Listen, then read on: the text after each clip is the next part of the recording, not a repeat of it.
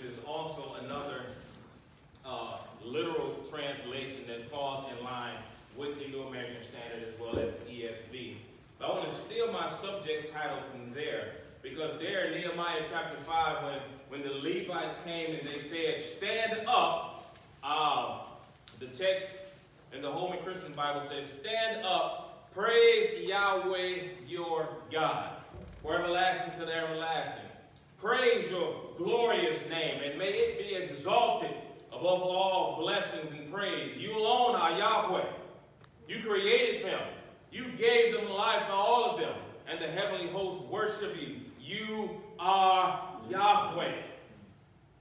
And the reason I like that particular translation and the way that it reads, because it, it emphasized Yahweh, the, the, the covenant created name of God, over and above every single other God in all of the nations. So for a subject this morning, I want to I want to preface this and, and, and, and, label it Stand Up and Praise the Lord. Because it's one thing that we really need to do. If, if we're going to look at this particular chapter, and even coming off the heels of Nehemiah chapter 8, if we really going to grasp what this chapter is communicating, then we really got to put ourselves in their shoes. We, we really we really want to try to feel what they felt. Because in these two chapters, there's a lot of emotions going on. Literally, the people of Israel, they're going through some things, if you will. We have to understand that they're coming off of a, a very festival time. Pastor Ray said only about 30 or 40% of y'all were smiling. But this was a joyous time for them. Just think of where they're at and, and refer back into your mind all of the sermons that have been preached. Because they came into a situation to where it seemed like there was no hope. It seemed as if the name of God had been defeated. They were defeated as a people. And yet now they stand midst of a wall that was torn down and broken down. And now the wall is built. They stand at a place now where, where God is seemingly giving them victory after victory because there was so much opposition that they had to overcome constantly at every turn, all to rebuild this city. They got all of this opposition, and God continued to deliver them. They even had, had the spat amongst themselves, where there became some infighting amongst one another that caused the work to cease. And what did they do? They overcame that as well. God brought them through that again. And so now, after last week, you heard that they got the book of the law out. They don't read the book. They found out they had not been celebrating the festivals as they should. They found out that they had not been joyful because of all that God had done for them. If you remember in Nehemiah chapter 8, verse number 10, our text said, Then he said to them, Go, eat, eat of the fat, drink of the sweet, and send portions to him who has nothing prepared. For this day is holy to our Lord. And he said, don't be grieved. Don't, don't be somber. Don't, don't, don't have, have those faces that look like you've been sucking lemons. Don't, don't have that face. But he said that the joy of the Lord, it is your strength. You ought to be joyful and excited because now you're standing in Jerusalem. It's no longer torn down. It is now built back up. You did not have the book of the law, but now you do. You ought to be rejoicing. The Day of Atonement, they had just celebrated. And now they're celebrating the, the, uh, the Feast of Tabernacles, or Sukkot. That they're celebrating all these things. And he said they should be joyful. New community, you, you ought to be more joyful as you come to this text. You ought to be more excited because the application here is this. If you will walk faithfully with your God, he will also deliver you. No matter what opposition you find yourself facing, God will give you deliverance. You should stand up and praise the Lord for all of the goodness and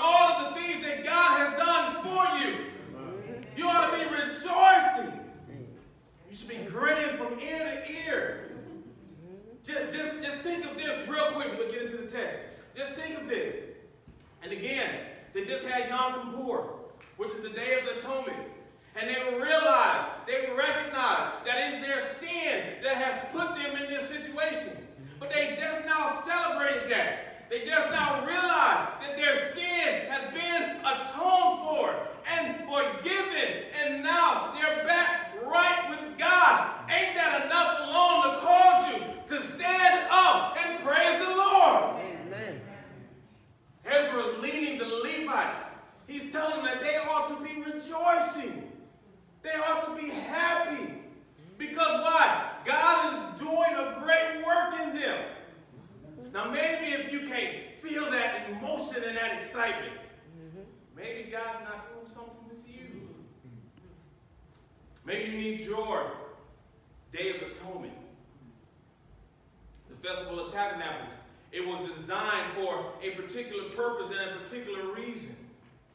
It was to bring them out of their comfort zones. See, when, when they celebrated this particular festival, they, they had to come out of their plush living rooms back home, you know, where they had their, their carpet laid out. Okay, for them it was dirt. Just walk with me for a second.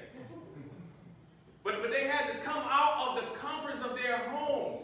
And they had to make these little huts. And they had to stay there for a whole week. They didn't have the comfort if it had rained, they, they didn't have their, their normal covering, their normal protection. All they were doing was sleeping in these huts. Why? Because God wanted them to remember. As a matter of fact, God told Moses, he said, look, Moses, put it in my vernacular. Let them know that the moment I deliver them and take them to the promised land, do not forget the Lord your God who delivered you out of the land of Egypt. We're going to talk about that more. But don't forget all of the goodness and all of the blessings that I have gave you when you go into the land. And what did they do? They went into the land and they did just the opposite. They forgot. And so now they're being called back to this remembrance. They've been called back out of their comfort zones and called to stand up and praise the Lord for all that he is doing. Maybe too many of you, comfort zone is too plush and too comfy. Maybe God has blessed you so much that you really need to stop and self-examine. Maybe you need to set up a tent and just live outside like the homeless for a week. And so you realize just how good God has been to you and realize this goodness that God has been to you is not because you yourself are good, but because he alone is good. This was a joyous feast, this Feast of Booths, to remind us, to wake us up, and to let us know that we cannot be self-reliant as believers. We cannot be selfish we must give up the I mentality and begin to focus and think with a we mindset if we are going to advance the kingdom of God. We must turn from our idols. We must turn from our comforts of sin. We must repent we must turn to our Redeemer who died on Calvary's cross that we might be that our sins might be forgiven, that we will be set free from the bondage of sin that held us back. The, the, the, the Christ on Calvary's cross gave us salvation. He gave us forgiveness. He cleansed us from all of our sins. He alone made all these things happen. And because he has done this, we as believers in the New Testament, we ought to stand up and just give God praise and be joyful and be excited for all that God done on Calvary's cross. Amen. We should be so excited. As I check the calendar, actually that, that feast is ending this evening. It's ending with a joyous occasion for those Jewish believers who, who were looking and recognize and believe their Messiah. That feast is ending. and ending it with a very, very time of joyful celebration. One of the things also about this festival, not only did it end where they praised God and they worshiped God for all the provisions that he also had provided for them, but this was also a time that they would, they would pray and seek God's face that he would give rain. Okay? They, they wanted rain so that their crops would grow, so they would have a fruitful season upcoming. Now, in a spiritual sense, there, there ought to be a rain that we're looking for. There, there, there ought to be a pouring out, if you will, of the Spirit of God to fall upon all flesh, to call women, men, boys, and girls to come and confess their sin. There ought to be a spiritual rain that we're looking for, that men might be cleansed from their sin and forgiven, and that gap that, that separated them from God can now be restored. That rain might fall from heaven and call men, women, boys, and girls to repent. That rain is that living water that living water that in John chapter 7, as they celebrated this festival, Jesus said these words. He said, If any thirst, let him come to me and drink. And he who believes in me, as the scriptures have said, out of his heart flows the rivers of living water. Jesus is acknowledging. Remember, he told the woman at the well, he said, if you drink of this water here, you will never thirst again. That's the message of the gospel that we have to take out within our community and to tell those who are lost and those who are searching, those who can't look to Capitol Hill because of all the madness that's going on, those who can't look to their job because they're here one day and they're gone the next, those who can't re rely on, our, on the health of America because America is on shaky ground itself, but they can draw from that living water, the Lord Jesus Christ, and he said they will never thirst again. That's the message of the gospel that we take to all the world. Every single person that we come in contact with, we tell them of this living water that we have drunk ourselves, and we tell them this is the reason why we stand and we praise the Lord. Amen. And living water. And living water ought to cause you to stand and praise the Lord. Also, too, right before we get to this text, God was working through them as Israelites. God was working through Nehemiah's leadership. God was working through Ezra and the Levite priests. He was working. We see God constantly working as we have come up through these eight chapters. And I hope that you remember why we began this book study in the first place. I, I hope you remember why we began on this journey. For, for as we were coming together, as we were merging con congregations, as we were becoming one, it was, it was, said by Pastor Ray, this will be a good book for us to grow together and that we might build together and that we might become one. I hope you remember and understand that God is at work here at New Community. God is moving in ways that you even don't understand right now.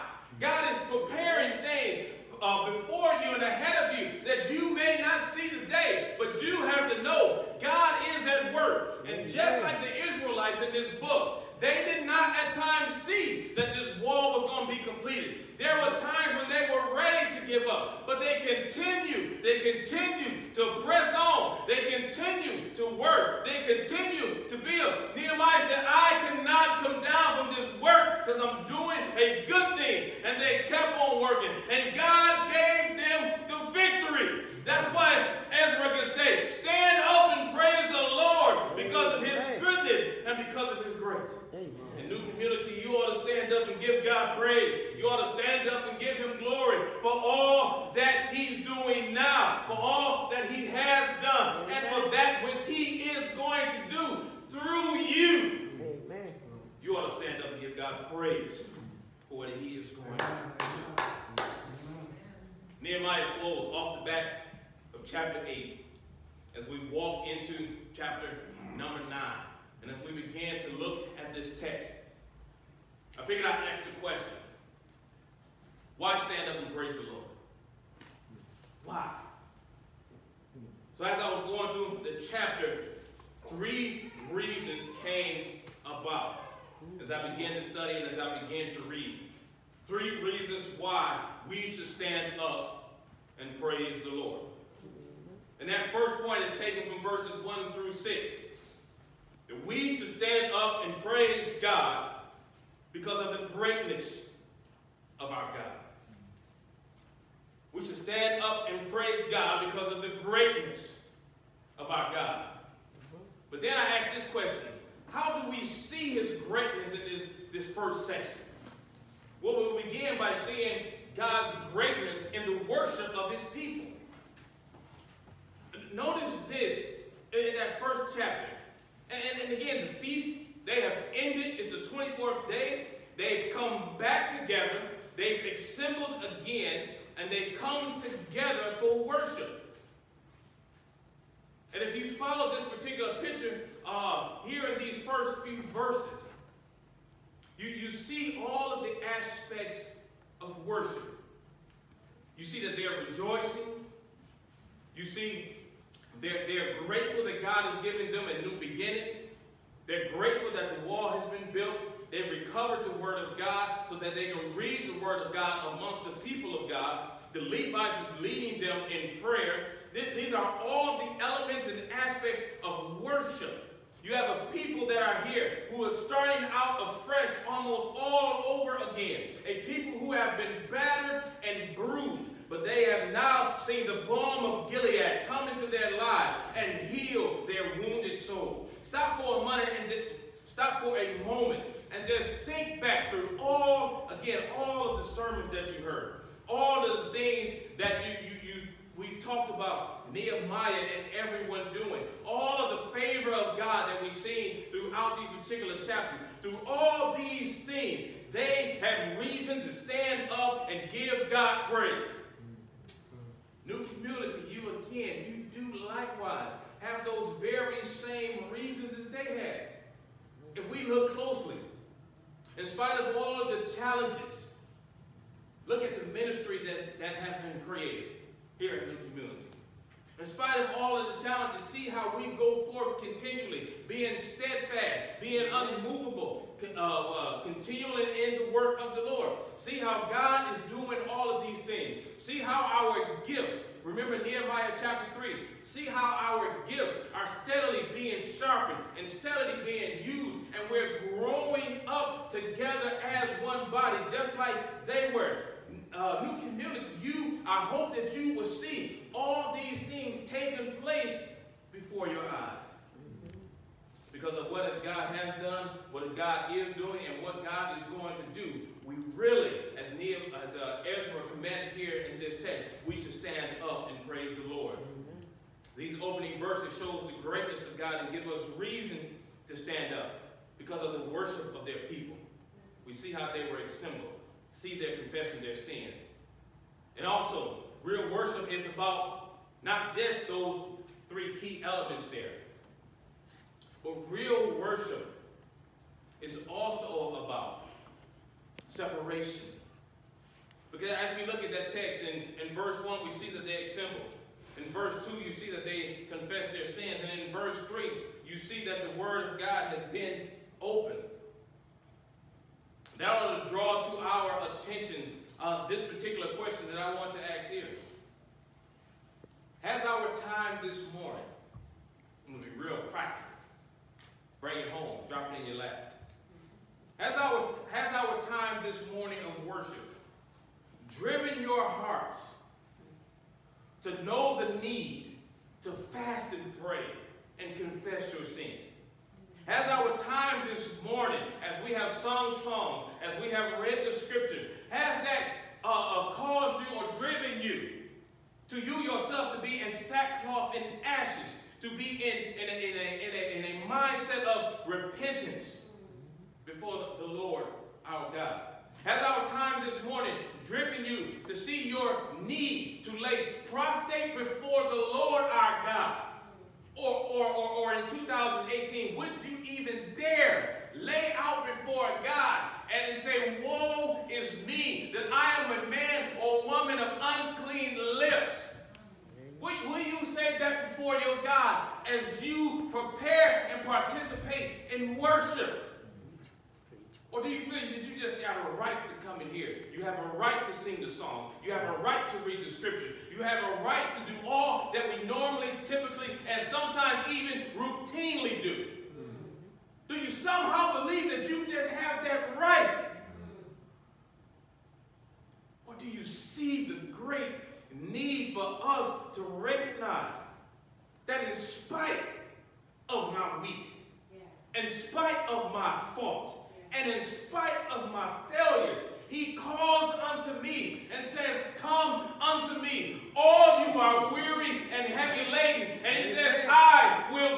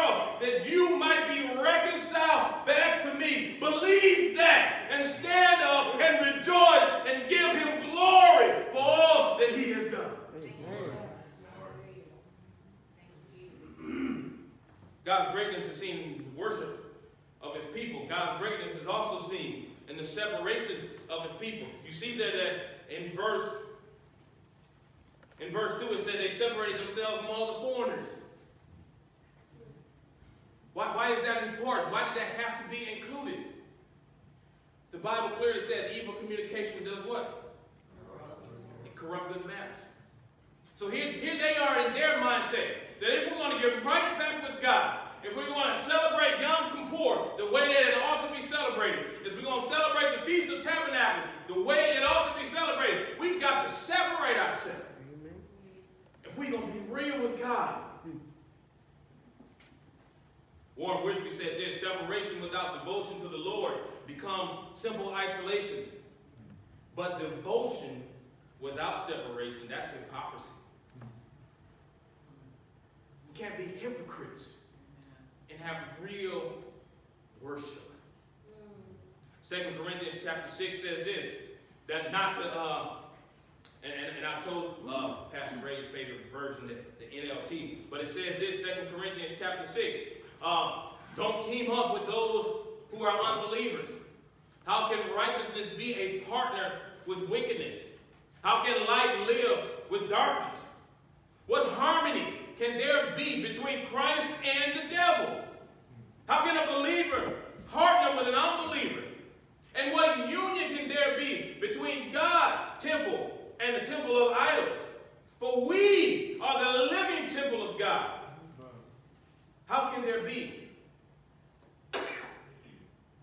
2 Corinthians chapter 7 says this, because we have these promises from God, dear friends, let us cleanse ourselves from everything that can defile our body or spirit, and let us work toward complete holiness with fear to our God. That's what they see. That's how we ought to feel. We, we have to separate ourselves from those ungodly features and factors that plague our lives. Those things that so easily beset us and hinder us in our run away, our run in our race. If we are going to truly worship the Lord our God, and if we're going to give him true praise and worship, then we must separate ourselves from those ungodly things. So God's greatness is not just seen in the worship of his people, or in the separation of his people. But God's greatness is also seen in the power of his creation. Did, did, did you see the text that they talked about as they went into it? Look here at, at verse 6. He says, You alone are the Lord. You have made the heavens. He said, You made the earth and all that's in it.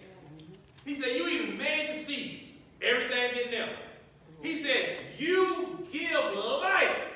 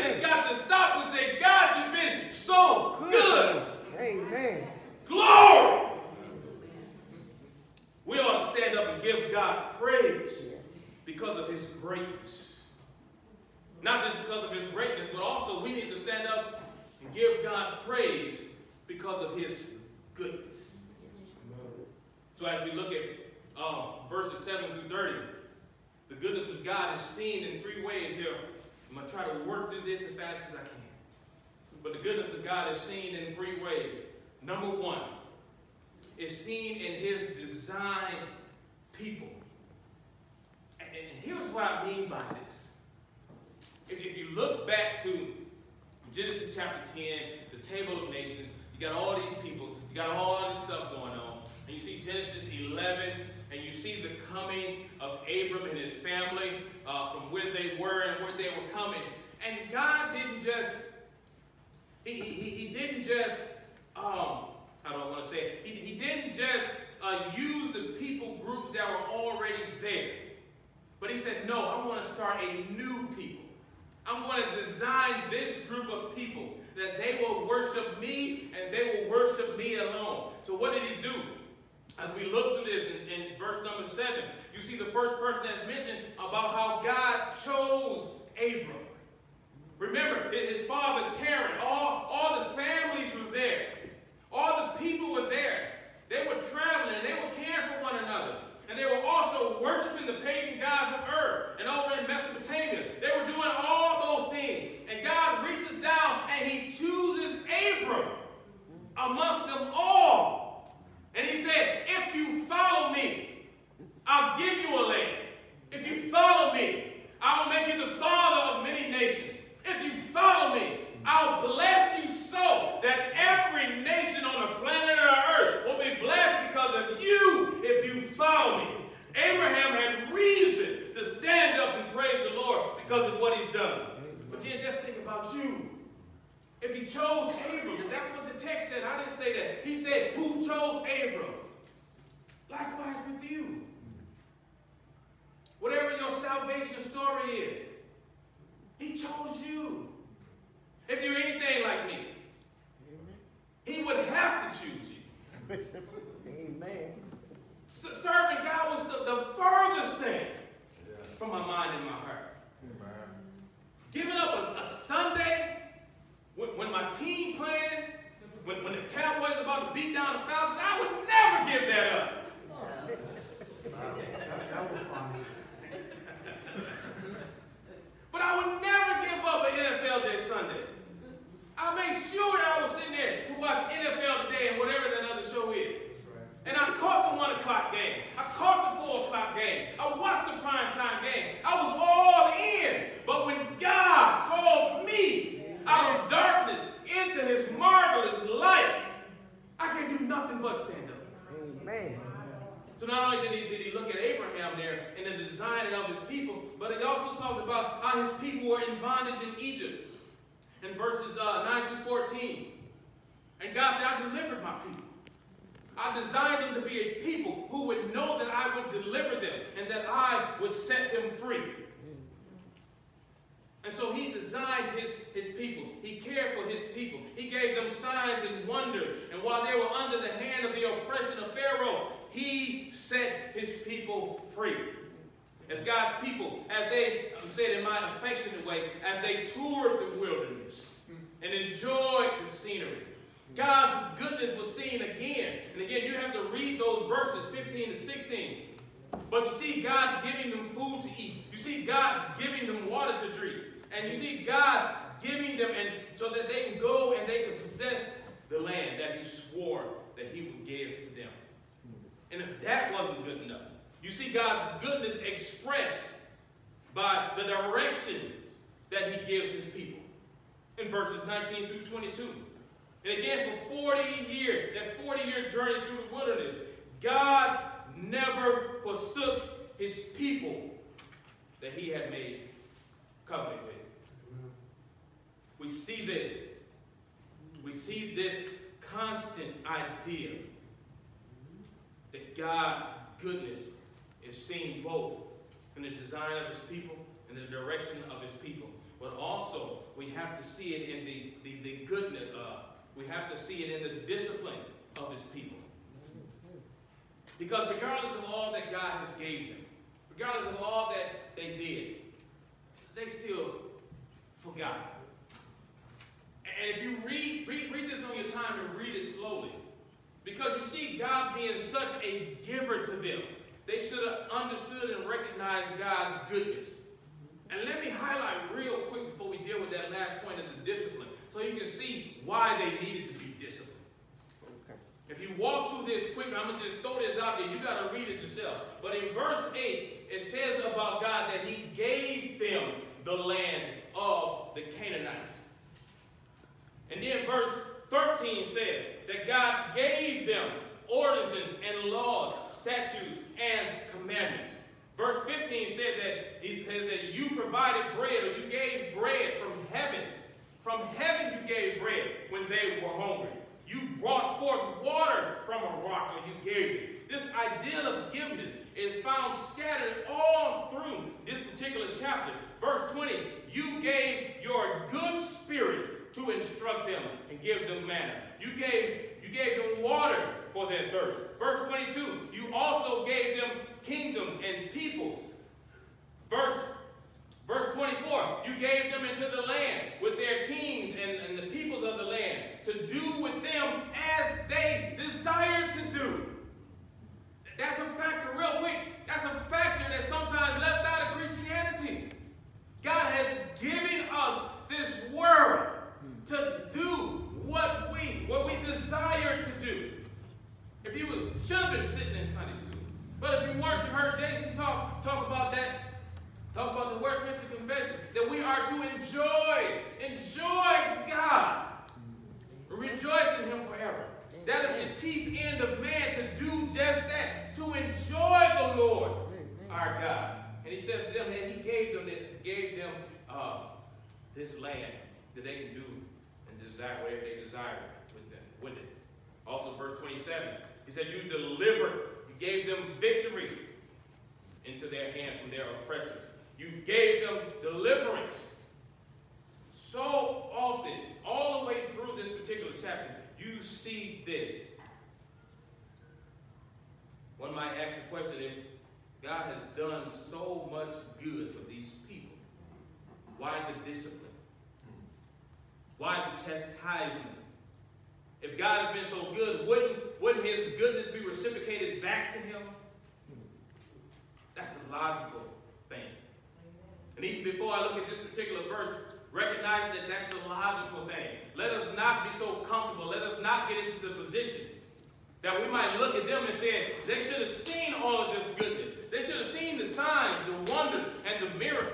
They, they should have seen getting up every morning and there again is manna again. They should have seen it and they should have reciprocated goodness back into their God. What were they thinking about? What was wrong with them? Before you chastise them and what they failed to do, understand and recognize every single morning that you rise up from your bed and you jump into your shoes and you go off to work or you go off to school or you go off to do the daily routines of your life, that you ought to stop and praise God lest you be like them, lest you fall into your own comfort. Let, lest you jump up and leave your house, jump in your nice car, crank it up, and ride on into the sunset. All these blessings and all these things that God has gave you, you might want to stop before you open your car door and say, God, I thank you. I ain't got to walk. God, I thank you. I can look back. I got a roof over my head. God, I thank you. I'm leaving this morning with a belly full of food. God, I thank you. You have just been so good to me. Therefore, because of that, I stand up and I have to give God praise. Amen. These people, yet they had to be disciplined though. Sadly, sadly they had to be disciplined. If you look at verse 6, 16, excuse me, look at verse 16. It says of them that our fathers, how did they act? They acted arrogantly. They became stubborn. And they would not listen to the commandments of God. Verse 17 said, they refused to listen and did not remember the wondrous deeds which you have performed among them. Probably referencing the Red Sea. You refused. You became stubborn. But look at the goodness of God. You are God, though. You are a God of forgiveness.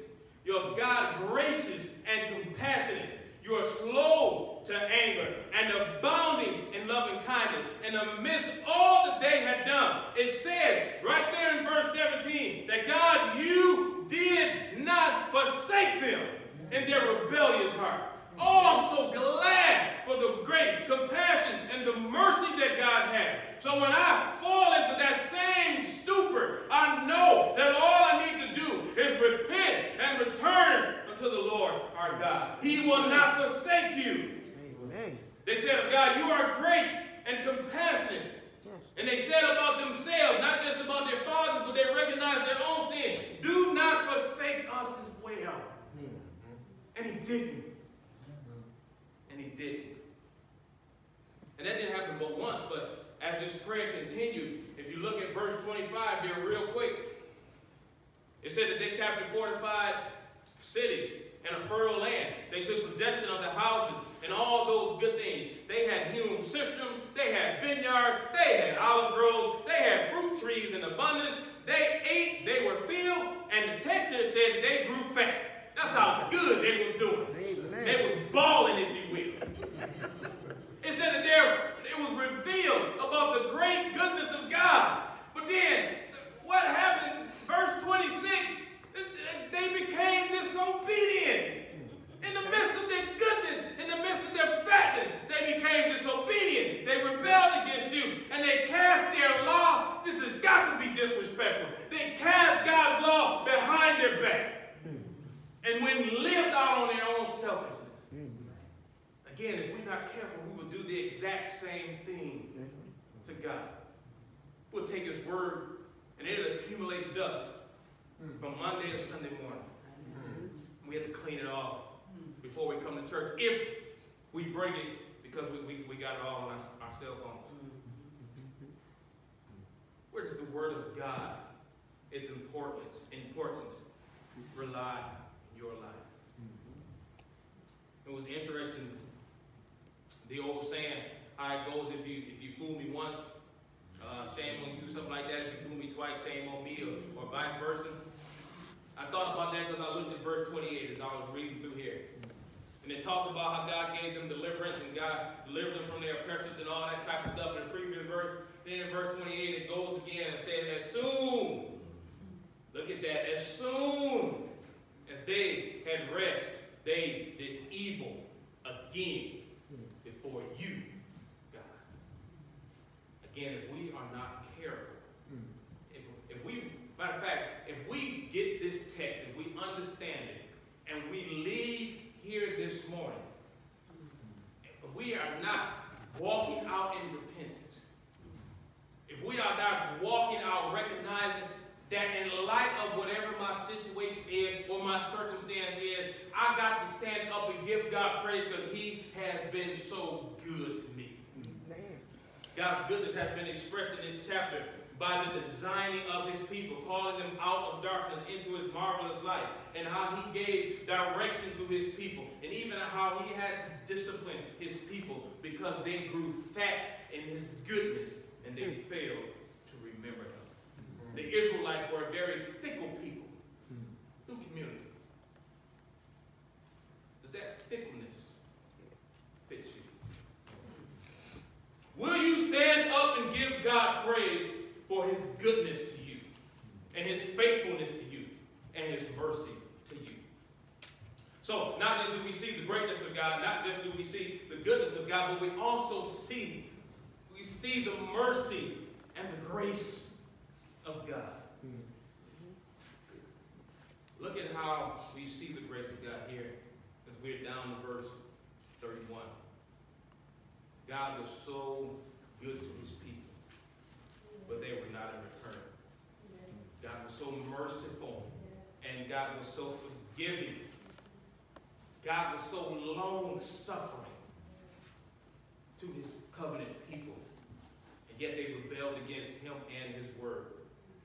God could have easily, easily destroyed them and started off fresh. He could have started all over again. If you haven't got a reason to stand up and give God praise before now, look at verse 31. verse 31 says, Nevertheless, in your great compassion, you did not make an end of them. God could have made an end of them with one simple Thanos snap and wiped them all out. Not half the population. He could have snapped his fingers and wiped them all out. But the text said, In your great compassion, you did not make an end of them. You did not forsake them. You are a gracious and compassionate God. That there alone ought to be reason for you to stand up and praise the Lord. Verse 32, Now therefore our God, they called him the great and the mighty and the awesome God who keeps covenant and loving kindness. They say to him, Do not let all those hardships seem insignificant before you, which has come upon us. They talk about how it came upon the kings and all of them. For the days of the kings of Assyria. Verse 33, However, you are just in all that has come upon us. For you have dwelt faithfully, but we, we have acted wickedly. Our kings and our leaders, our priests, our fathers have not kept your law. They did not pay attention to your commandments. And your abominations with, uh, which you have admonished them. And then verse 35 says this. They in their own kingdom, with your great goodness, which you gave them, with a broad and rich land, which you set before them, they still did not serve you, or they did not turn from their evil deeds. And in their abundance, and because of their sin, they're recognizing all these things, and they're calling out to God in prayer, led by Ezra and the Levites, for the grace of God. Have you stopped and said, yeah, God, I can see the very fact that you could end it all, but because of your grace. And God's great compassion and God's great mercy and, and God's great goodness, his grace is seen and set on display about the character of God, about why we, when we gather in this place, our hearts are, are to be fueled with flames of fire of the Holy Ghost, that we might worship the Lord our God. That we might stand up and give Yahweh all the praise because of his grace. That we might stand up and cry aloud that we recognize all that you could do, but the fact that you didn't do it. The fact that you did make right with us. The fact that you made right what we could never have made right. You ought to stand up and give God praise for his grace, praise for his mercy, and praise for his loving kindness. I want to end with this statement from Warren Wiersbe. He said, Our God is a glorious God. He is powerful, He is faithful, and He is concerned about the needs of His people. He is, he, he is a pardoning God who is long suffering when we sin, but chastens us if we rebel. He is a generous God who gives us far more than we deserve. He is a God who keeps his promises even when we are unfaithful. He is faithful. You ought to stand up and give God praise because of his faithfulness. You ought to stand up and give God praise for the faithfulness that he has shown to New Community Baptist Church over all these years. You ought to stand up and just simply rejoice and give God praise, glory, and honor for all that he's doing, for all that he's